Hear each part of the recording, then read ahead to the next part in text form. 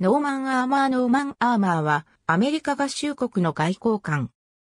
第一次世界大戦から第二次世界大戦までの期間を外交官として過ごし、8カ国で外交使節団の長を務めた。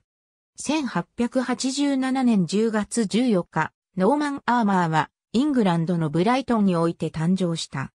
アーマーの両親はアメリカ在住であったが、アーマーの誕生時は休暇でイングランドに滞在していた。父親はジョージ・アリソン・アーマー、母親はハリエット・フットであった。アーマーはニュージャージー州プリンストンで成長し、1909年にプリンストン大学を卒業した。アーマーは在学中、テニス部に所属した。アーマーは1913年にハーバード大学法科大学院を修了し、プリンストン大学で外交政治学の研究員となった。アーマーは1911年に国務省の非常勤職員として採用された。アーマーは1912年にオーストリア担当職員として勤務し、続いて1915年から1916年までフランス担当職員として勤務した。1916年、アーマーは国務省で正職員となり、外交局に配属された。アーマーは二等書記官として、ロシア帝国のペトログラードに派遣された。1917年、ロシア革命により、帝政ロシアは崩壊し、ボリシェビキが政権を掌握した。ボリシェビキ政府は、中央同盟国とブレストリトフスク条約を締結した。アメリカは条約の正式調印に先立って11月7日に、ロシアとの国交を停止し、中ロシア大使館から外交官を撤収させた。アーマーを含む一部の職員は残務処理のため大使館に残留した。だが1918年7月25日、ロシア当局はペトログラードに残っていたすべてのアメリカ外交官に対して退去命令を出した。アーマーらはこれに従った。その後、アーマーらは、ペトログラードの東方約 540km のボログダに移動し、新たな公使館を設置した。1918年、干渉戦争により、ロシアでの状況は、さらに不安定になった。北ロシア戦役において、イギリス領事がロシア軍から攻撃を受け、アーマーらが駐在していたボログダの公使館も、また実質的に包囲された状況となった。これ以降、アーマーの行動記録の時系列は、やや不明瞭となっている。当時の報道によると、アーマー及び他の外交官らは8月26日に、スウェーデン行きの列車に乗車する許可を受け、ロシアを脱出した。列車は9月5日に、スウェーデンのストックホルムに到着したものの、アーマーはそこで拘束され、モスクワに連れ戻された。アーマーには以下の容疑がかけられた。ノルウェーの偽造パスポートを使用していたこと。外交特使の身分を偽っていたこと。そして秘密裏に、ペトログラードに戻りニコラス・クダシェフ公爵の娘ミラ、クダチェフ工場を国外に避難させる手配をしたことであった。また、同時期の別の報道では、アーマーは、モスクワから列車を使わずに、フィンランドへ脱出したが、外交特使として身分を偽ったために拘束されたという記録もある。さらに、同時期の記録として、ニューヨークタイムズ紙には、アーマーの死亡記事が掲載された。アーマーはアメリカに帰国した直後の11月2日、ミラ・クダチェフ公女との婚約を発表した。そして1919年2月2日、アーマーはベルギーのブリュッセルにおいてミラ・クダチェフ公女と結婚した。アーマーは1919年以降、ベルギー、オランダ、ウルグアイ、イタリアに駐在した。1922年から1924年までは、ワシントン DC での国務省勤務を行い、続いて、日本、フランスなどに駐在した。中仏大使マイロン・ティモシー・ヘリックが1929年3月31日に死去すると、アーマーは臨時代理公使となった。アーマーは公認の大使が決定するまでの間、パリで大使館長を務めた。アーマーにとっては、これが最初の外交使節団の長であった。アーマーはフランスにおいて、大衆に評判のある社会的人物として認知を受けた。アーマーとアーマーの妻は、パリの上流階級の生活例として、しばしばアメリカの新聞に取り上げられた。1932年7月25日、アーマーは講師に承認し、中配置講師として任命を受けた。アーマーは11月7日に信任状を法廷して着任した。ハイチは第一次世界大戦以前からアメリカが占領統治していたが、アメリカは政治機能を現地の人民に返還することを検討していた。アーマーに与えられた主たる任務は占領統治の結果と有効性について調査し、政治機能の返還が円滑に進むよう調整することであった。アーマーが選ばれた理由は流暢なフランス語を話せたことであり、アーマーにはハイチ人との署名を行う立場が与えられた。そして1933年8月7日、アーマーは政治機能の返還に関する条約への調印を行った。これにより、ハイチの政治機能を1944年10月までに返還し、加えて1944年11月までにアメリカ海兵隊を撤退させることが決定した。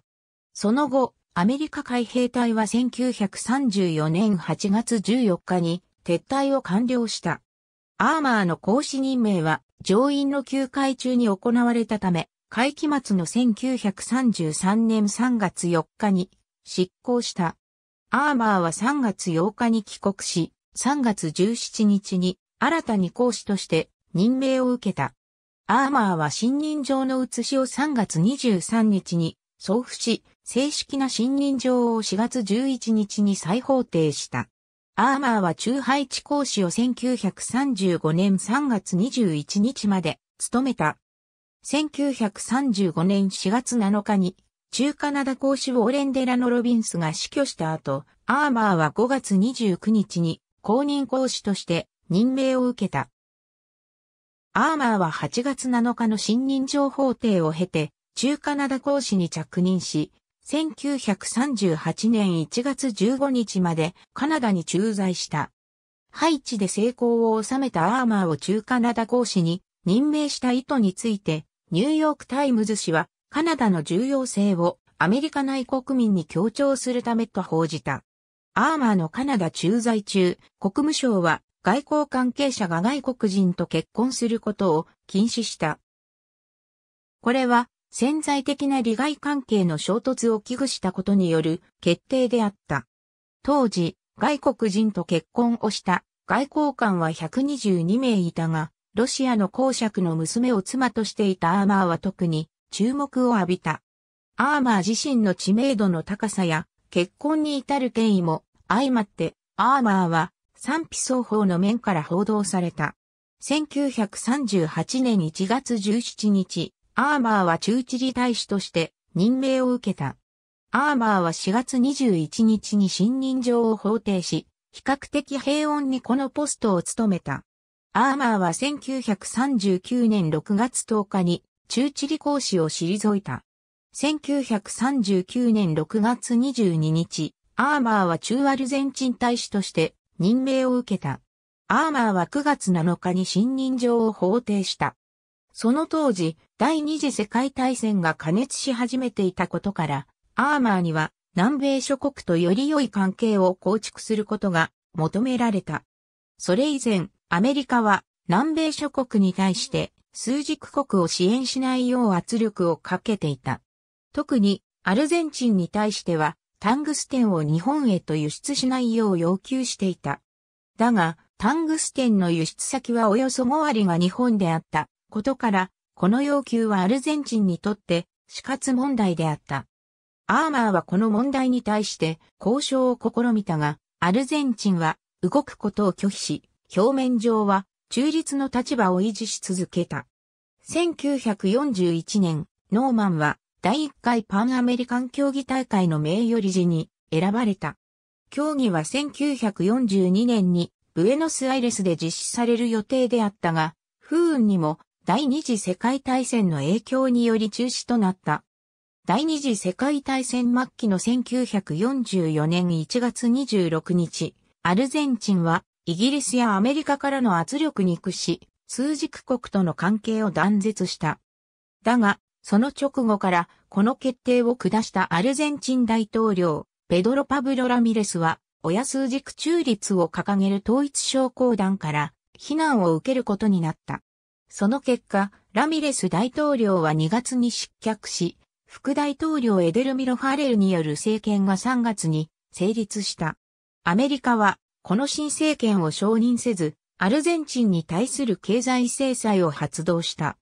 アメリカはアーマーに対して、アルゼンチンに残留するよう命令を下した。しかしその一方で、新政府とは、規定条件がクリアされるまでは、いかなる公的関係も築かないようにも要請した。アメリカはこれを親数軸派による政変であると考え、1944年3月3日に国交を停止する決定を公式に下した。そしてアーマーは1944年6月27日に公式に中アルゼンチン大使を退任した。中アルゼンチン大使退任後、アーマーは国務省ラテンアメリカ部の部長代行となり、1945年3月まで務めた。1944年12月15日、アーマーは中スペイン大使として任命を受けた。アーマーは1945年3月24日に信任状を法定して着任した。アーマーは第二次世界大戦終戦まで数軸国の一部に支援の姿勢を見せるスペイン大統領フランシスコ・フランコによる政府に圧力をかけ続けた。アーマーは1945年12月1日に中スペイン大使を退任した。アメリカはその後公認大使の派遣を1951年まで拒否し続け、スペインの孤立化を図った。アーマーは中スペイン大使退任後、国務省を辞して現役から引退した。1947年6月10日、アーマーは、ハリート・ルーマン政権で政治担当国務次官補に指名された。アーマーは現役復帰を決め、1947年7月1日に着任した。アーマーはジョージ・シー・マーシャル国務長官の下で1948年7月15日まで政治担当国務次官補を務め、二度目の引退をした。1950年9月20日、アーマーはハリー・トルーマン政権で中ベネズエラ大使に指名された。アーマーは2度目の現役復帰を決め、1950年12月7日に着任した。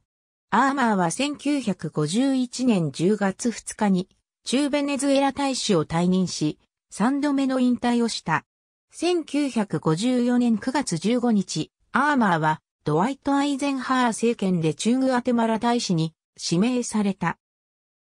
アーマーは3度目の現役復帰を決め、1954年10月18日に着任した。アーマーは1955年5月9日に中グアテマラ大使を退任し、4度目の引退をした。